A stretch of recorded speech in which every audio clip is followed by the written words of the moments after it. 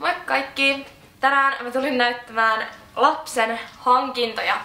Ja jos joku ei tiedä vielä, niin mä olen muuttamassa. Sen takia tää huone kaikuu, mulla ei ole kunnon backgroundia.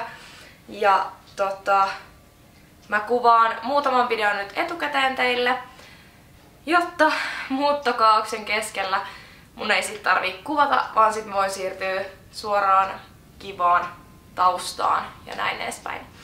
Mutta tänään mä tosiaan näytän teille lapsen hankintoja, mitä mä oon tässä raskauden aikana hankkinut. Ja nyt on siis 19 raskausviikko menossa. Ja mä voisin aloittaa suurimmista hankinnoista.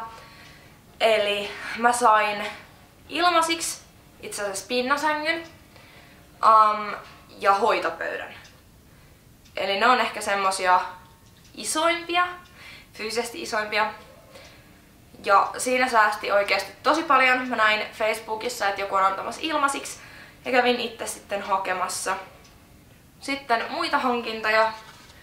Mä näytän nyt vaikka nämä NS itse ostetut ensin. Eli tämmöset 11-14 jalankoon kahdet sukat, vaalean beiket, supersöpöt ja siis nämä on oikeasti vastasyntyneelle. Voi olla jopa liian isot. Mut nämä oli Lidlistä pari euroa ja mä ostin nämä jo ihan raskauden alussa. Um, muistaakseni ensimmäisen kolmanneksen jälkeen, olisiko ollut kolmella, kolmannella toista raskausviikolla. Ja näin hankintojen myötä lapsen tulo on alkanut tuntua entistä todellisemmalta omassa mielessä, mikä on ihan hyvä juttu. Mut kaksi paria pikkua, pikkuisia sukkia. Sitten yksi päivä kirpparilta ostin, nämä housut taisi olla 50 senttiä, siis hinnaltaan, ja nämä on 56 senttisen, eli about vastasyntyneen housut. Ja nääkin on ihan super pienet, mutta ihanat. Ja nämä on siis umpinaiset täältä jalan kohdalta, mikä on huomattavasti helpompaa pienelle lapselle sukkien laitto on mun mielestä yksi haastavimpia asioita. Sitten mä ostin, tää taisi olla kans 50 senttiä tää podi. Tämmönen missä on pieni nallenkuva. Ja mä oon ostanut sellaisia, mitkä sopii myös tytölle sekä pojalle. Ihan sen takia, että mä en vielä tiedä kumpi, kumpi sieltä tulee, mutta tää on tämmönen kieltasupodi. Tässä on nepparit molemmilla puolilla sisällä on muutama ja sitten tän saa tähän päälle. Eli tämmönen, ja tää oli siis tosiaan 50 senttiä hinnalta, ja tää on kans 56 senttisen lapsen. Mun mielestä pienimmät vaatteet, olisiko ne jotain 52 senttisiä? Et ne on superpieniä. Mä en tiedä sitten, että onko keskonen suunnilleen sen kokonaan. Eli etuaikainen lapsi, mutta nääkin on mun mielestä jo tosi pieniä vaatteita. Ja sitten mä ostin vähän isomman podin. Tää oli euro 50 ja tää on 62 senttisen. Ja tää on tällainen raidallinen ja sitten takana on nepparit, mitkä saa auki. Että se menee helpommin tää kaula-aukko pään läpi. Ja näitä edessä olevia nappeja ei saa auki, että ne on ihan vaan koristeita. Eli tossa oli... Tossa oli kaikki vaatehankinnat, niitä ei ihan hirveästi oo. Mut sitten on muutamia muita juttuja, ja siis nämä seuraavat jutut on ihan saatuja. Ilmasiksi en ole mitään maksanut, kävin vain hakemassa tutulta. Mutta on kaksi tämmöstä Parpavapa lastenhuoneen verhoa, mutta nämä oikeasti näyttää aika paljon lakanoilta. Tota, mä en tiedä sitten, että käytänkö mä näitä lakanoina, koska siis nämä on niin paksua kangasta. Mutta hän niinku sanoi, että nämä on verhot. Sitten on tullut muutama lelu, mitkä pystyy ihan pesemään siis koneessa. Tämmöisiä ensikirjoja, mitkä rapisee. On tämmönen maatilan eläinvauvat. Täällä on kaikkea Um, ja sitten on tämmönen joku laulaja leiki kirja kans. Tääkin on tosi rapiseva. Ja nämä on alun perin Vau-kirjalta. Um, sitten on yksi kirja taas. Tässä on norsu takana, tämmönen käsi. Ja täällä on sitten tällaista pientä peiliä. Ja mikäköhän tää on?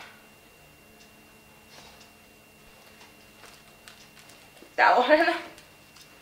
Tässä on tosi paljon niinku eri irtoa tai tällaisia osia, mitkä liikkuu ja näin edespäin.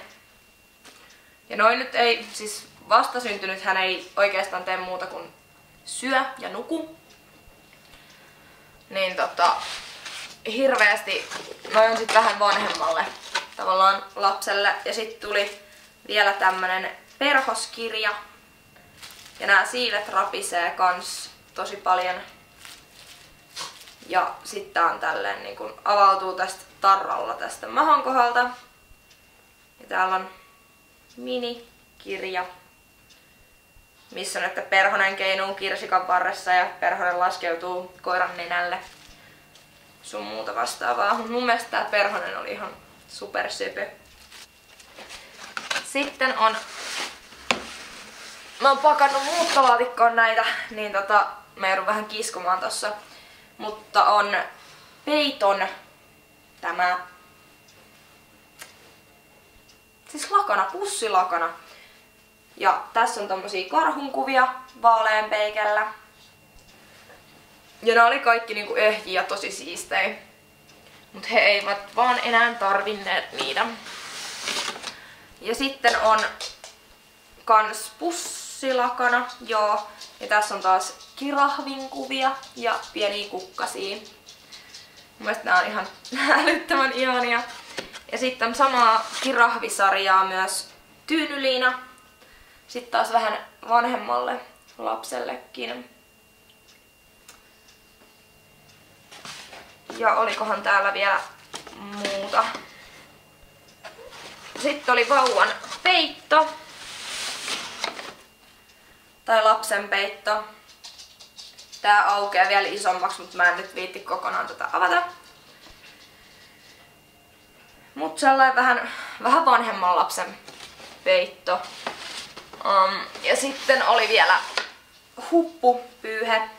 Ja tässä on ampiaisia vissiin pellolla. Toinen taisi soittaa selloa ja toinen rumpuja tossa kuvassa.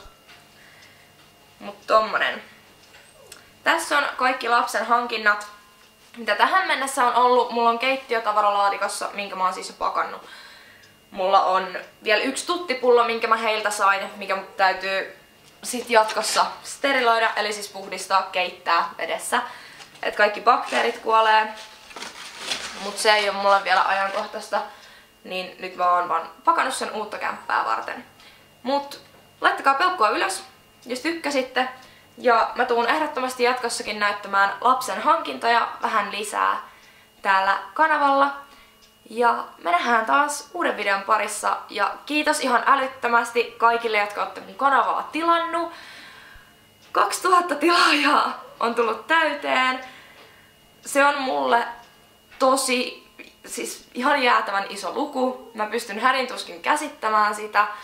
Ja kiitos kaikille, jotka olette kattonut mun videoita. Mun yhdellä videolla on yli 31 000 näyttökertaa, mikä on ihan älyttömän siistiä ja mahtavaa.